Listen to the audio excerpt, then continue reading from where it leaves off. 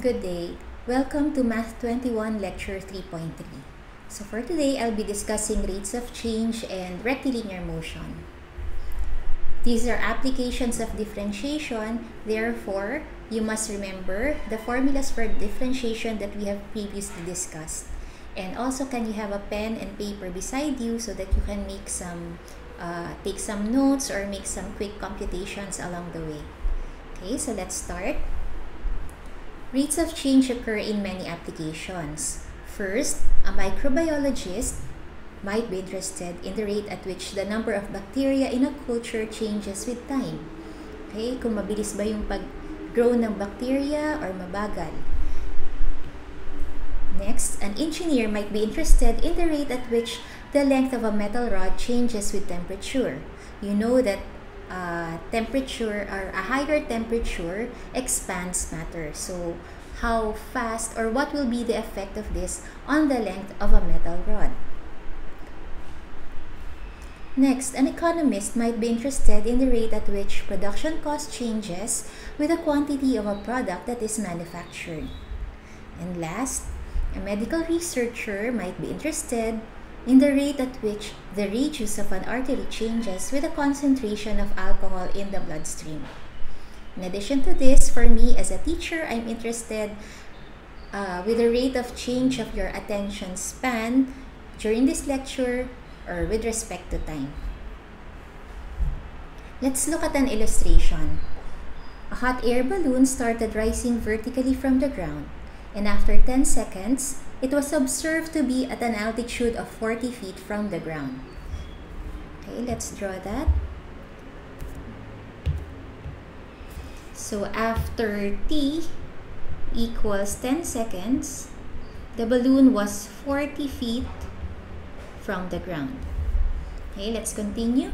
30 seconds after it left the ground, it was found to be 100 feet from the ground. So at t equal to 30 seconds, it was 100 feet from the ground. The question here is, on average, what was its speed between the 10th and the 30th second? So we are concerned, or sorry, we are concerned for the average speed in this interval. Speed is distance over time. So we just get the difference between the distance. So 100 minus 40 divided by the difference in time, 30 minus 10. So this is equal to 60 over 20 or this is equal to 3 feet per second. So this is the average speed between the 10th and the 30th second. Does this mean that the velocity at each moment dun sa 10 to the 30th second is equal to 3 feet per second? What do you think? Diba? Sabi nga natin, average speed yon. So when you say average, the average rate uh, in general, if we have the variables x and y, and y is a function of x, the average rate of change of y with respect to x on the interval x naught to x is given by this, yung difference ng f of x minus f of x naught divided by x minus x naught. Or we can represent it by delta f over delta x. Now, sabi natin average to, we contrast it with what we call the instantaneous rate of change of y with respect to x at a particular point, x equals x naught. Okay? So, pag average, ito yung average niya between x naught to x. When you say instantaneous rate of change, paano yung kukunin? We just get or we let x approach we get the limit as x approaches x naught. Okay? So, ito yung formula ng average. If you get the limit as x approaches x naught, does this formula look familiar? Tama? This is just f prime evaluated at x naught. Okay? So, this gives us a new interpretation of the derivative. Diba? Dati, we use the first derivative to get the slope of a tangent line. Now, another interpretation of the derivative is the instantaneous rate of change. Okay, uh, tingnan lang natin saglit yung graph. Okay, if you recall, nung nag-define din tayo ng derivative, we looked at the secant line and the tangent line. Ano yung secant line? Sige, I'll try to draw. Okay, so, suppose this is the curve y equals f of x and you have the points p, p, and q. When you say secant line, naalala, secant line is the line connecting these two points, points P and Q. Okay? Sorry, hindi nag hindi dumaan sa P. Pero, ayan yun. Suppose dumaan sa P. So, uh, yung average rate of change is the slope of the secant line passing through points P and Q. In contrast, yung instantaneous rate of change of y with respect to x at x naught is the slope of the tangent line passing through point P. Okay? Yan. So, yun din yung difference nila ng average rate and instantaneous rate of change on the graph. Okay, what else can we say? So, if y is a function of x, dy over dx can be positive, negative, or zero. Ano ibig sabihin nun? If dy over dx is positive on an interval, then y increases as x increases, or y decreases as x decreases. On the other hand, if the derivative dy over dx is negative, it means that as x increases, y decreases. Okay? Or as x decreases, y increases. Now, if dy over dx is 0, then it means that y does not change with respect to x. Let's look at this example. So, a right circular cylinder has a fixed height of 6 units. We're asked to find the rate of change of its volume with respect to the radius of its base. Okay, so ano yung pinapahanap sa atin? We're asked to find the rate of change of its volume. So that is dV over or with respect to the radius dV over dr. Ito yung goal natin na mahanap. Okay, sige, let's draw a cylinder. So, ano yung alam natin? Okay, ay. So, the cylinder has a fixed height of 6 units. And then, yung radius varies. Okay, ano yung for formula for the volume of the cylinder? The volume is pi r squared h. But since the height is fixed, we can write this as pi or lagay na lang natin dito, 6 pi r squared. Okay? We want to find dv over dr, so we just differentiate this equation or this formula with respect to r. Okay, differentiating with respect to r, we get dv over dr equals, ito constant lang to, 6 pi.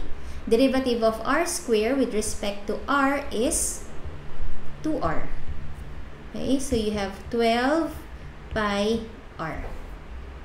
This is the rate of change of the volume with respect to the radius of the base. Okay, so ano interpretation natin dito? Since the radius is always positive, dV over dr is always greater than 0. It means that as the radius increases, the volume also increases.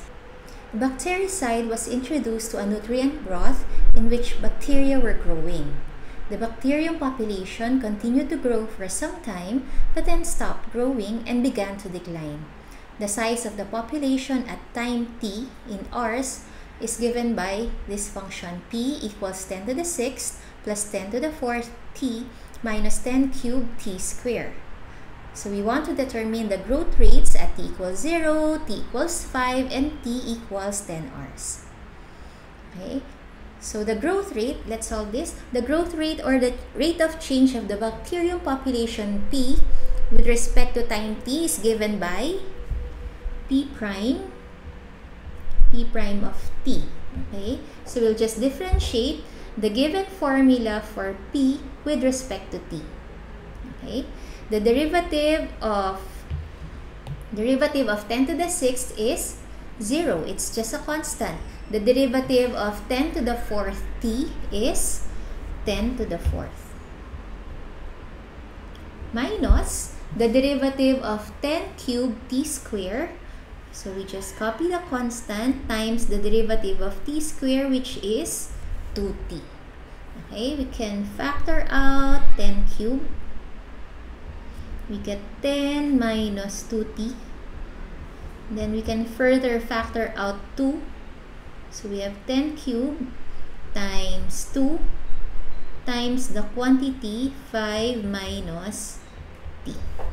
Okay, so this is p prime of t para mas madali nating i-compute yung growth rates at t equals 0, 5, and 10. Sige, so we have an expression for p prime. We get p prime of 0. p prime of 0 is 10 cubed times 2 times 5 minus 0. So we have 5 or this is equal to 10 raised to 4. p prime of 5 is equal to 10 cubed times 2 times 0. This is 0. And last, p prime of 10 is equal to 10 cubed times 2 times negative 5 or this is equal to negative 10 raised to 4. Okay? So, ito na yung growth rate at t equals 0, t equals 5 hours, and t equals 10 hours. Ano yung interpretation nun? Pag positive, sige, let's uh, look at this more closely. Sige, so yung p prime of t natin, nagzi-zero siya at t equals 5. So if we're going to make a table of signs, so at t equals 5, dito siya 0. So yung p prime of t will be from 0 to 5, p prime of t is positive and from 5 to positive infinity, p prime of t is negative. Diba? If you substitute a value less than 5 for t, for example, 3, 5 minus 3 is positive, so positive to. And then if you substitute a value which is greater than 5 for t, 5 minus a larger number is negative. That's why this is negative. Okay? That's why we say that for t between 0 to 5, uh, the population or the growth rate is positive. P prime of t is positive. Or yung bacteria nag increase But from 5 hours uh, to positive infinity, p prime of t is negative or decreasing. Sige, positive or increasing, ito negative or decreasing. So after 5 hours, the population of the bacteria uh, decreased already or declined already. Okay? Sige, next, let's look at this example. Sabi, a ladder 24 feet long rests against a vertical wall. Okay, so tingnan nyo yun ha. So the ladder is 24 feet long. Let theta be the angle between the top of the ladder and the wall. Okay, ano yung theta? So try to sketch this. And uh, let x be the distance from the bottom of the ladder to the wall. Okay, locate nyo yung x. So if the bottom of the ladder slides away from the wall, how fast does theta change with respect to x when x equals 12 square root of 3? Okay, did you try to sketch yung mga given? Yan. So here we have a ladder, 24 feet. Yan. So dito, kung merong quantity na fixed na, hindi nagbabago, ilagay nyo na yung value nun, 24 feet. But in this case, yung theta natin and yung x, nagbabago. Okay, kasi nga yung ladder is sliding away from the wall. Kaya, ilalagay natin yung variables doon. Kaya wag nyo, muna, wag nyo munang gagamitin itong x equals 12 square root of 3. So, ito muna illustration natin. Sige, now, uh, we have to find a formula or an equation that relates these quantities. Ano yung naiisip nyo? If this is theta, okay, this is theta, ano yung relation ng x with respect to theta? x is the opposite side of theta. Take note, we have a right triangle here. Okay? x is the opposite side of theta. Yung 24, ano yon? 24 is your hypotenuse. Therefore, anong formula yung pwede natin gamitin? Pwede natin gamitin yung sine theta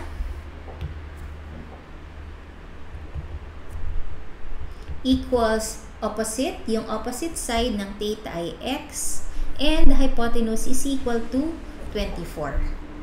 Okay, so na-relate na natin yung mga variables theta and x. Now, ang pinapahanap sa atin ay, ah, sige, maya na muna. We can try to isolate theta. Sige, if you want to isolate theta, anong gagawin natin? Di-divide natin by sign? Hindi. We get the arc sine of x over 24. Okay? So, theta equals arc sine of x over 24. Sige, balik tayo dun sa problem. Ang tinatanong sa atin, how fast does theta change with respect to x? Yun muna. Uh, how fast does theta change with respect to x? So, change ng theta. So, that will be, okay lang, dito ko muna isulat ha. Find change ng theta. So, that's d theta with respect to x. When x equals 12 square root of 3. So, pwede nyo gawin ganito. Evaluated when x equals 12 square root of 3. So, ito yung pinapahanap sa atin. Okay? So, let's go back to the drawing. Again, we're looking for d theta over dx when x equals 12 square root of 3. Okay, using this formula, so theta Diba nakita natin? Kanina, theta equals inverse sine of x over 24. Kailangan makuha natin itong expression na to. So, we differentiate uh, this equation with respect to x.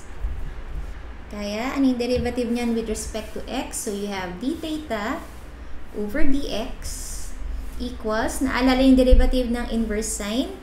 The derivative of inverse sine u, where u is x over 24, is 1 over the square root of 1 minus x over 24 square times the derivative of x over the derivative of x over 24. Chain rule lang. The derivative of x over 24 with respect to x is just 1 over 24. Okay, so ito yung uh, expression natin for d theta over dx. Once you have this, pwede na nating isubstitute etong 12 square root of 3. So, ngayon pa lang natin gagamitin ha. Huwag niyong gamitin agad uh, dito. Kaya huwag niyo agad isubstitute kasi ang gusto natin ay d theta over dx. Okay, so substituting 12 square root of 3, you get 1 all over the square root of 1 minus 12 square root of 3 all over 24 square times 1 over 24. Okay, so we can simplify this. 12 over 24 is 1 half. Tapos, you have 1 all over the square root of, pwede bang kunin ko na LCD? If you have 2 square, ang LCD ay 4.